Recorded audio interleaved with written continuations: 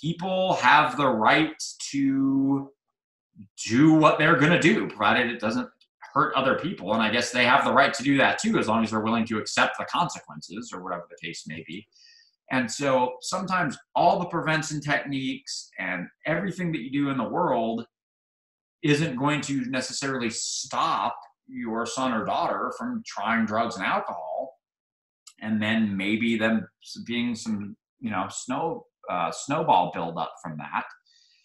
And i gotta trust me as a parent myself that answer sucks. And i really wish there was something more concrete. Do this and right. sort of going the flowers in the attic route which is right and for younger people that may be listening, sort of locking your kids in the attic Mm-hmm. their whole life, which is going to not have good results for them and for you once they get out of there.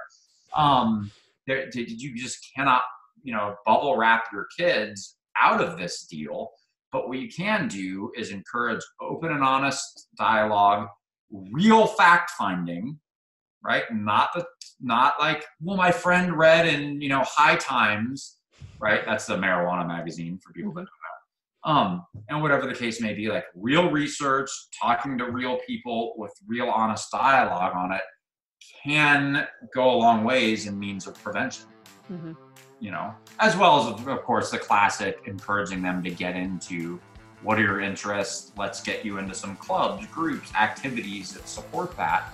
So hopefully you can find, you know, again, every teenager is going to look for something to get into right? That is sitting still and calm with themselves is not really a thing in the teenage world.